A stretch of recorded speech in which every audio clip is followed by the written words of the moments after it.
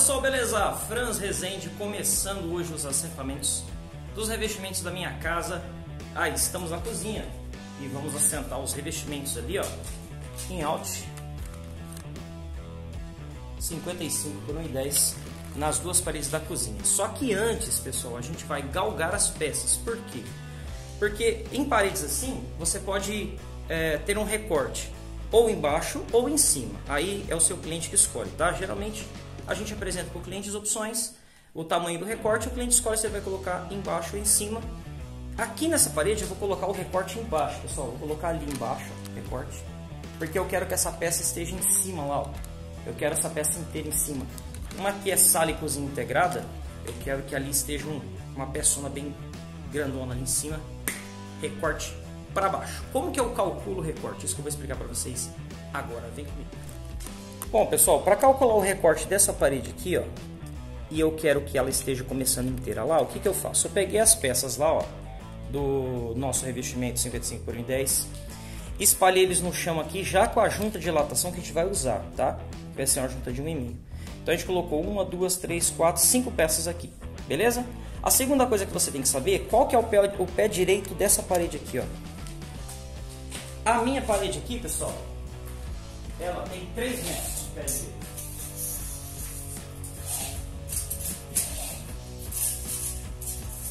Três metrinhos de pé direito. Beleza, já sabemos que ela tem 3, 3 metros de pé direito, pessoal. E aqui começa o detalhe, tá? Quando você for galgar suas peças aí no chão, você já tem que descontar isso aqui, ó.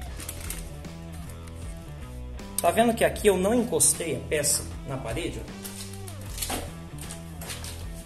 Aqui eu deixei um espaço aqui para marcar, por quê? Lá em cima, pessoal, vou colocar uma moldura de 10 centímetros. Então, quando eu vou galgar as peças aqui, eu já deixo o recuo para moldura de 8, tá? Ó, recuo de 8 centímetros. Porque a moldura vai remontar, ela vai vir em cima do revestimento, 2 centímetros aqui. Então, já deixei o espaço aqui, ó, da moldura, certo? Agora, o que, que a gente vai fazer?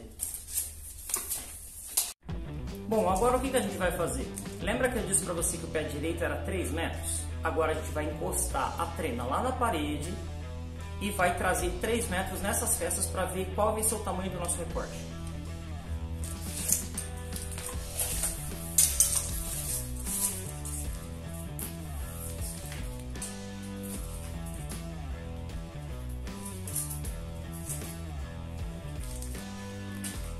Prontinho. Pessoal, lembrando que lá a trena tem que estar encostada na parede, tá? Eu puxei o recuo porque lá vai moldura, mas a, a régua tem que, tem que encostar na parede. E aqui os 3 metros, ó, os 3 metros deram aqui, pessoal, ó, onde está o lápis.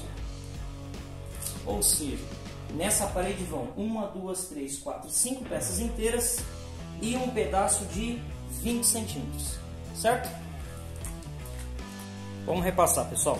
Aqui, ó, eu deixei o recuo de 8, mas para efeito de marcação, a trena encosta na parede. Então são uma peça, duas peças, três peças, quatro peças, cinco peças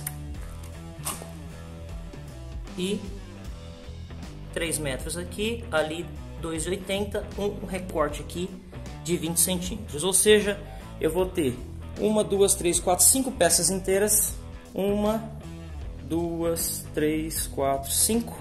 E lá embaixo um recorte de 20. Tá, Franz, beleza, eu já sei o tamanho do recorte. Mas por onde que eu começo? Por onde que eu começo?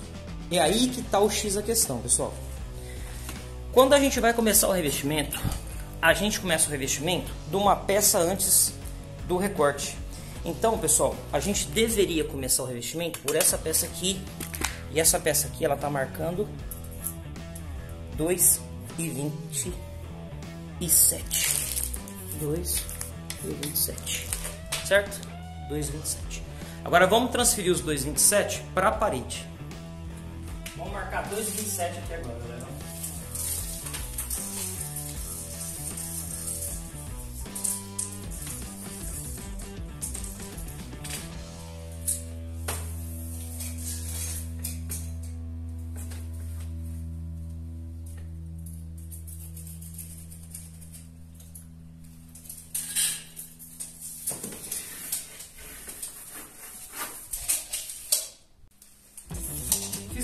Marcação aqui, pessoal, 2,27. Agora eu dou uma reforçada com o esquadro.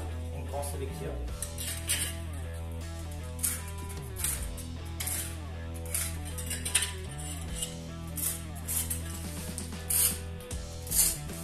Agora é só é, nivelar com o nível laser, a gente vai fazer isso depois.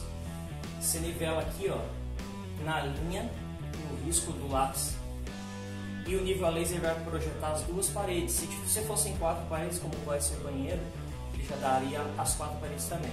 Mas aqui a gente vai projetar o laser em cima dessa linha preta do lápis, ele já vai me dar os outros dois cantos. Aí eu venho com a trena, cadê você trena? Aqui. Eu venho com a trena, confiro do contrapiso na base, na linha, confiro lá do outro canto no nível a laser, confiro no outro canto. Se tiver tudo ok, é só deixar o nível projetado, o laser projetado nessa parede e começar o assentamento. Isso vocês vão ver no próximo vídeo. Beleza, pessoal? Mais uma vez, curta, compartilhe os vídeos, deixe seus comentários. Novos comentários se tornam um novo vídeo e não perca o passo a passo do assentamento aqui a partir do próximo vídeo. Fui!